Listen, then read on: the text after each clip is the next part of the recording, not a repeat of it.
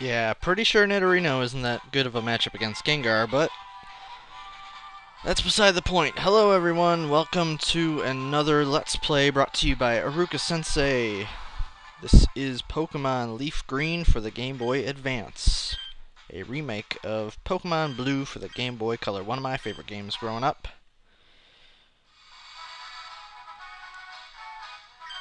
However, I will not be playing through this game normally, so to speak.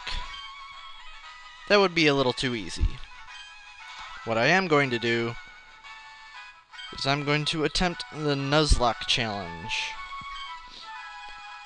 For those of you who don't know what that is, I will explain in a little bit.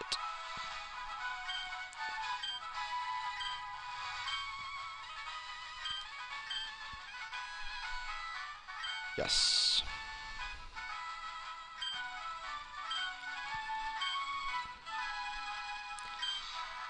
Uh, let's see. I think his dad named him Jerkass. I'm pretty sure that's what his dad named him.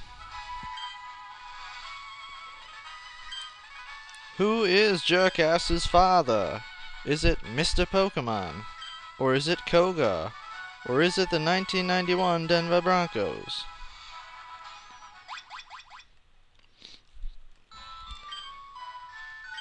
Alright, so the Nuzlocke Challenge, yes.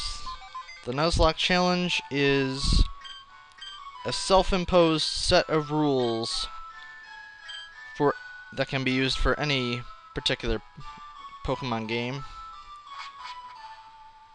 What it is, it's two main rules. Well, it's actually three even though one isn't necessarily strictly followed, but one of the rules is if any of your Pokemon faint in battle, they have to be released. Some people put a graveyard box, set aside a box in their PC called a graveyard box. That they put them in just so they don't lose them forever. I well, yeah, because that would make more sense if you uh, had you know a level 70 something that fainted and you didn't want to get rid of it completely.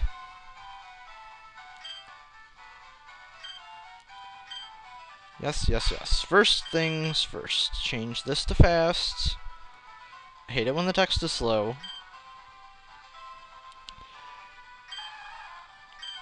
Squirtle would be the optimal choice. I'm going for Charmander. Just because, why not? I usually go with Bulbasaur. And it's usually 50-50 on Squirtle or Charmander. Another rule is that you should nickname all your Pokemon. I'm nicknaming my Charmander Cosmo because that's awesome. The point of this challenge is to create stronger bonds between you and your Pokemon. AKA not letting them faint. Because that would kind of break the bond. And nicknaming, nicknaming them does create a stronger bond. I wish my HP wasn't low like that. I usually like it when it's 20, but I guess it doesn't matter all that much. Start off with a growl.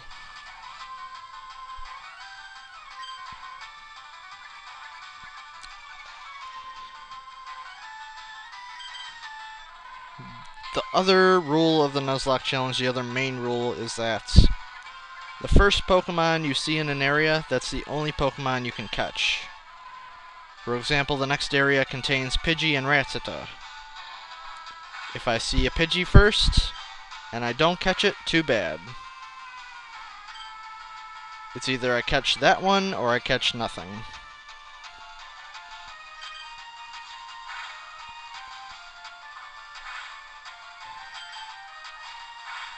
There are some optional rules, some of which I will follow myself. One thing I can say about the Nuzlocke challenge is it makes you fear critical hits like nothing else. Critical hits will be the worst thing to ever happen to you.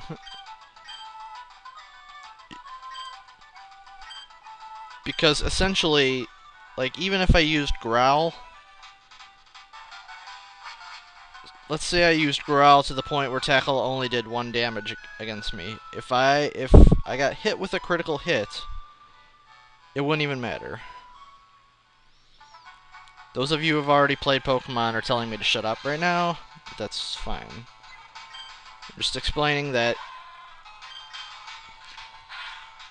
critical hit does double the damage it would have normally done without any kind of without you lowering the base attack or anything like that.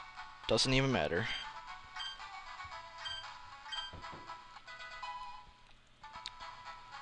One of the rules I'll be imposing on myself is that for items, usually you can buy as many items as you want, as long as you have money. Not this case.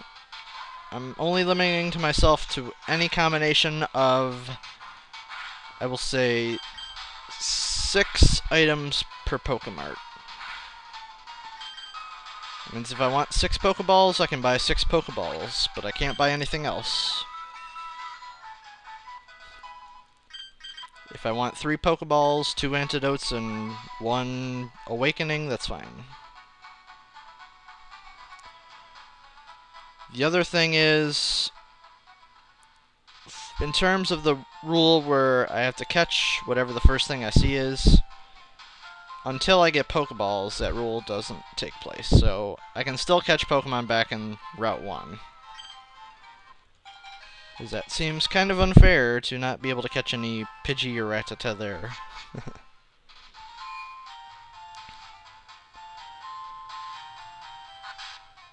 I don't know why, I still like going through all the NPCs' houses.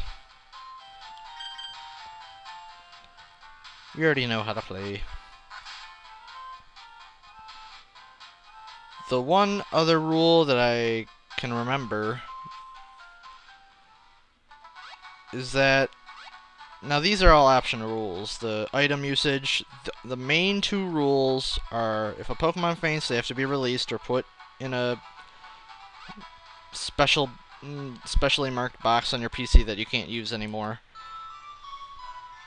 and that you have to catch the first Pokemon you see. The item usage is my own optional rule for this, for the sake of this Let's Play.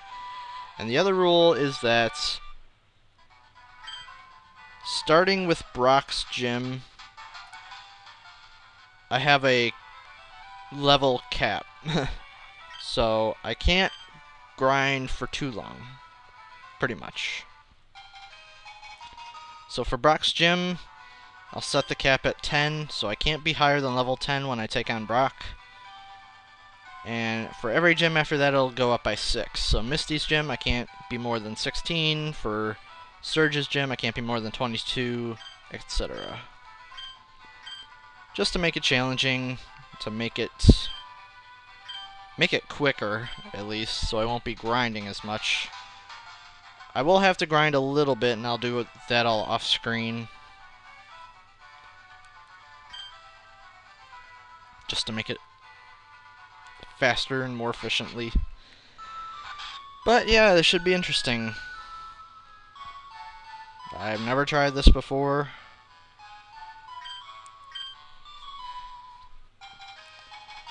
So it should be fun. It should be an interesting challenge.